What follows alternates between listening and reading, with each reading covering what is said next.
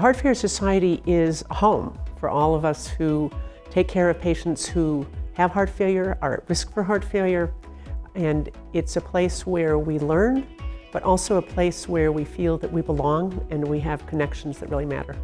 It's huge. Um, you come here to reconnect with old colleagues, to meet new people, to connect with people about new ideas you want to pursue, and frankly to get advice from people.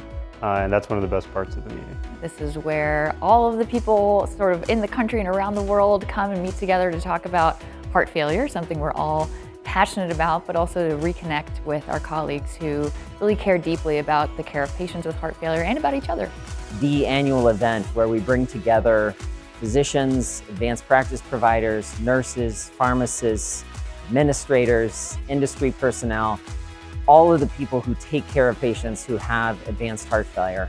It gives me the opportunity to hear about new science um, and to hear about exciting innovations going on in the field.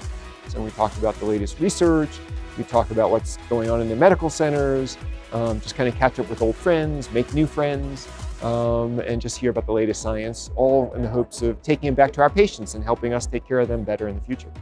It's restorative. It's therapeutic to be here to connect with each other. We all sort of quickly really adapted and we're really just really excited to see each other in person again. Um, I think the energy sort of surrounding reconnecting and being with each other in person is really, can't describe it. And everyone is just fired up. We're seeing people we haven't seen in a year and a half or two years. I think we're all excited to see each other again. Uh, we're excited to make a difference in people's lives. The education here is really based on all those people who touch heart failure in their careers. It's the physicians, it's the nurses, the pharmacists, and it is so important for us all to be able to learn together.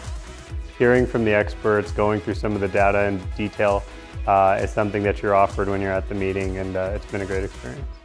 All the workshops are phenomenal, very educational.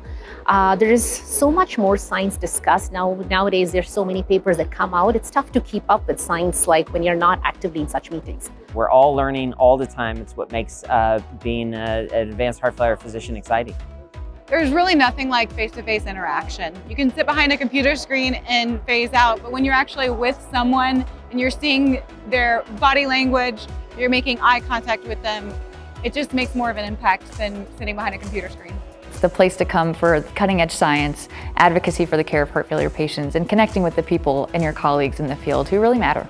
If you want to feel like you're up to date and you know what's been happening during the year, if you're like me, you can never keep up with all the journals, but you'll come here and you'll feel like you're getting what you really need to know.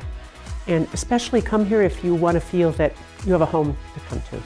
It is most essential for you to be present in the meeting, not only for the content, you can get the content from anywhere, but for actually having an interaction with some of the songbirds of heart failure. So I've been coming for 15 years in a row, um, and uh, I wouldn't miss it. See you in 2022. You cannot miss this session. Heart Failure Society of America Annual Scientific Meeting 2022 in Washington, D.C. I hope to see you there.